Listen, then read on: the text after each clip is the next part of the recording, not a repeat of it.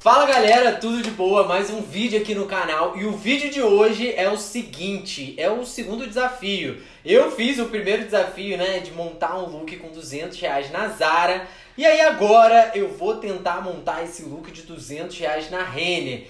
Tem aí, né, a galera tá falando que a Renner tá achando que é Zara e aí, será que tá achando? Será que não dá? Não tá? Eu lembro que antigamente era possível montar looks completos de 200 reais na Renner. Vamos ver se é possível. E aí, eu encontrei umas calças jeans lá, mas eu vi que essas calças estavam todas com valor de R$ 159,90. E aí, a calça jeans seria um look mais, sabe, mais basicão. E aí eu falei, não, deixa eu dar uma procurada. E eu encontrei umas calças de, de sarja com corte de alfaiataria que estavam R$ 179,90. Tava um pouco mais caro?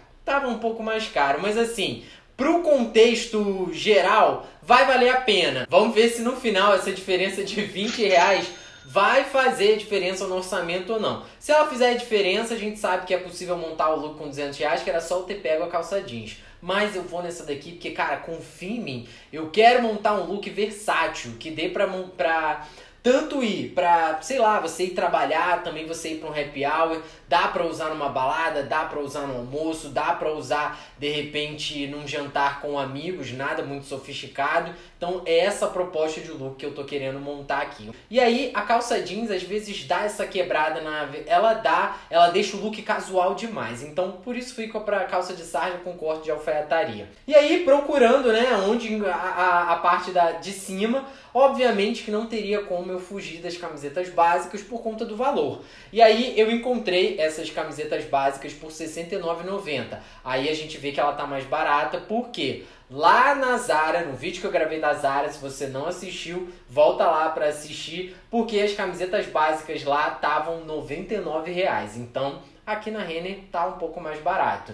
E aí eu peguei duas, peguei uma branca e peguei uma é, tom goiaba. Assim, a branca tinha M, que é o meu tamanho, o tom goiaba não tinha, só tinha G, mas eu levei, de repente dá pra fazer uma parada oversize e vou mostrar aqui, vamos ver como é que ficou, se rola ou se não rola. Primeiro look, esse daí, ó, com a camiseta branca, essa aqui é M, tá mais justinha no corpo, e com a calça de sarja com corte de alfaiataria, ela tem uma pegada jogger também, porque tem o elástico na barra. A parte do corte de alfaiataria, por conta dos bolsos o bolso faca na lateral e o bolso embutido na parte de trás. E a calça de sarja, porque o tecido que foi utilizado foi sarja. Então, pegou todas as ref aí, tá em dia, estamos na mesma página, então vamos seguir aqui. E aí eu coloquei dessa forma com a camiseta por fora. Eu gostei bastante desse look aqui. O tênis que eu tava no dia, que é um tênis da reserva, ficou muito bem, caiu excelente com esse look aqui. Daria para usar os acessórios que eu tava também.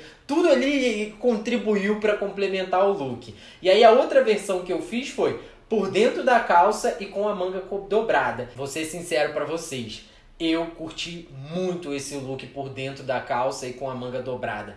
Sério, esse look aqui eu usaria muito esse estilo. Confesso que eu quase trouxe essa calça pra casa porque eu gostei do caimento dela. Camiseta branca não, porque eu tenho várias aqui. Porque assim, eu queria, eu quero muito usar esse look, mas eu não trouxe a calça porque né? Não trouxe, porque eu já tenho várias calças, mas essa daqui faria bem no meu guarda-roupa, mas eu resolvi manter o controle ali e não, não trouxe. Me diz aí, qual, qual você curtiu mais, por fora ou por dentro da calça? Eu confesso que eu gostei dos dois, mas eu usaria bastante esse por dentro da calça, a dobra na manga, valorizou bem ali, pelo menos o meu corpo, o braço, achei que deu uma valorizada, deu a impressão de que meu braço é maior, a parte aqui de cima do peitoral também deu essa amplitude. Esse lance de dobrar a manga dessa forma que eu dobrei aqui, que foi uma forma assimétrica, não é aquela dobra certinha, é uma dobra, sabe? Aquela dobra mesmo bem que a gente vai fazendo assim, e aí como ficou, Ficou. Olha só a diferença, como que dá... Não, vou até dar uma levantadinha aqui, ó. Olha só como que deu uma diferença, dá uma valorizada no braço. Tá vendo?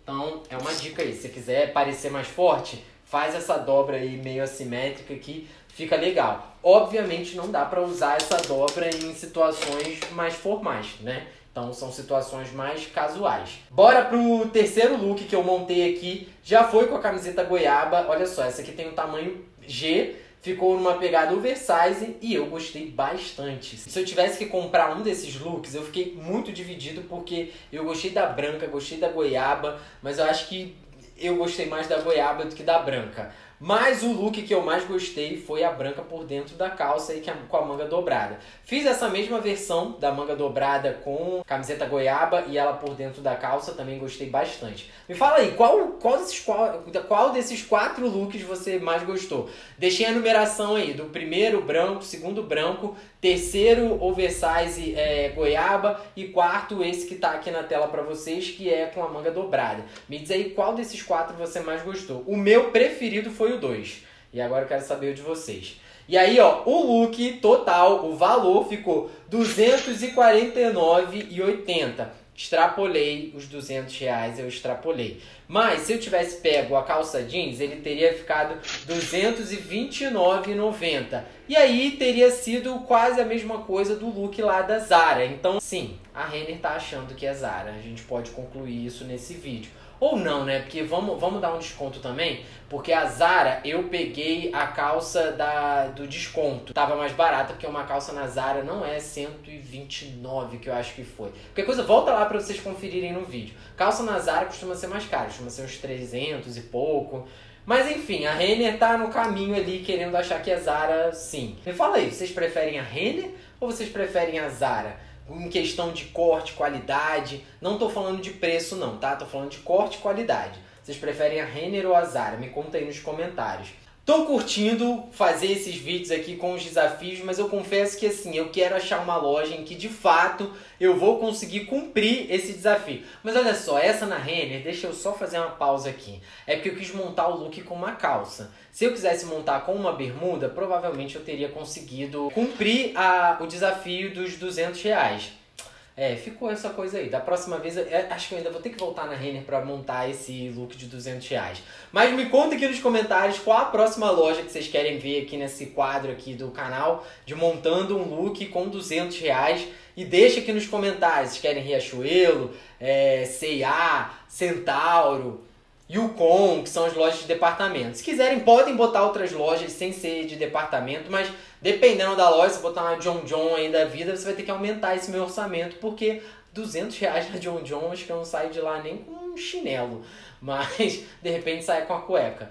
Mas me deixe, deixa aqui nos comentários se você quer uma, qual loja você quer se for uma outra de departamento ou uma que não seja departamento, deixa aqui que eu vou dar uma olhada. Se você assistiu esse vídeo até aqui, até o final, deixa aqui nos comentários Sarja, que eu vou saber que você assistiu até o final. Me deu essa moral, isso é muito importante para mim, que vocês assistam o vídeo até o final, curtam, comentam, comentem e compartilhem também com amigos de vocês aí, beleza? Então é isso, a gente se vê no próximo vídeo. Fui!